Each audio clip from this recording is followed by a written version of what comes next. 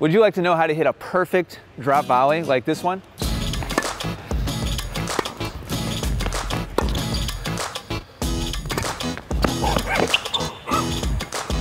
How'd you do that? Well, Mark, my training partner, really wants to know. So that's what I'm gonna talk about in this lesson.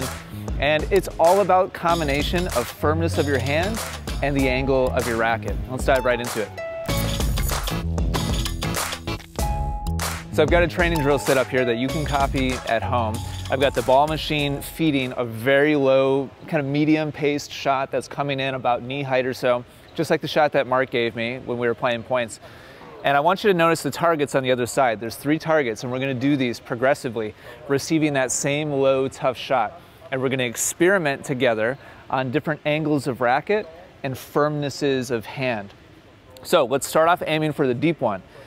So the, the key here to hit this uh, target is to hit with a firm hand, squeezing the racket and guiding the racket forwards with an open face. If your racket face squares when you hit this shot, then you're going to hit the net. Remember, the face sends it. Wherever the angle is at contact, the ball is going to go in that direction. And from this contact point down at knee height, if your racket is square, you will not make the shot. So the face has to be open, and then achieving that depth is all about finding the right firmness with your hand. And that deep of a target requires a pretty firm hand. I'd say I'm like, I don't know, a six or a seven. If 10 is like as hard, oh, ball machine missed. As hard as I can possibly squeeze the racket. That was a little off center, so it was short. There we go. Yeah, it's probably about a six or so, I would say. So that's how you achieve that depth. Now let's say we're going for the side tee. What you're gonna see now from this angle is the racket is now gonna start to absorb some more pace. On the deep one, I was really firm, so the racket moved through contact.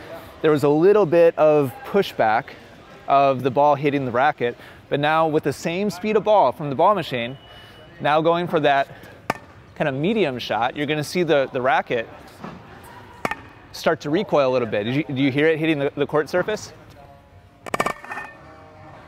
And that's because the ball is actually winning the collision.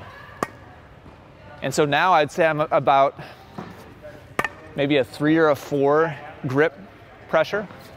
I'm actually really curious to see the replay uh, to see how much of a difference in the angle of the racket there is. I'm guessing my angle is a little more open on these,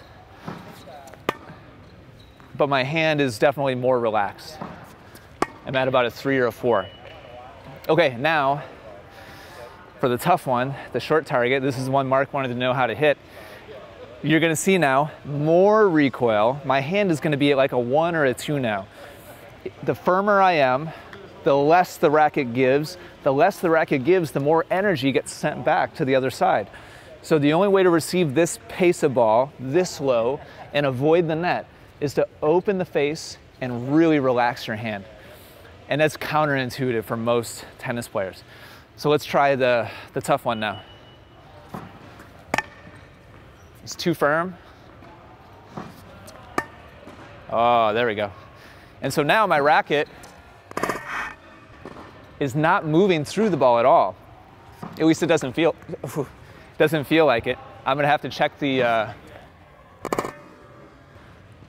oh, the replay. That was a little bit off center.